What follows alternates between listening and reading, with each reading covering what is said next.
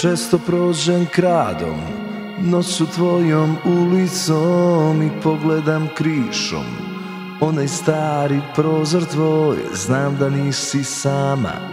Ti najdraži cvijete moj Oprosti, izvini Ako budim nespokoj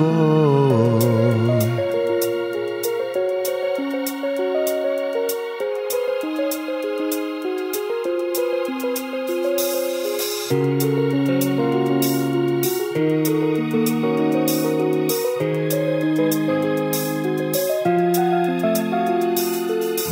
me po kiši Lukavička ulica Nisu kao nekad Mijenjale i godine Ništa nije isto.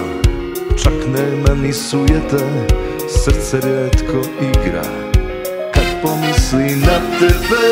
Nisi kao nekad Mijenjale te godine. Još uvijek si lepa Ali ne i za mene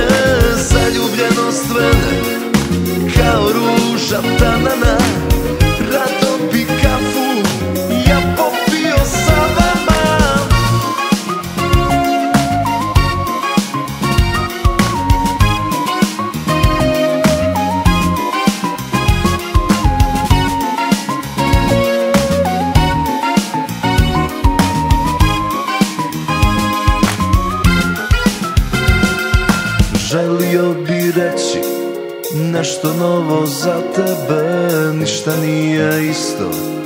Prošle su već godine U srcu mi živiš Al sve ređe sanjam te Nisam kao nekad Mijenjale me godine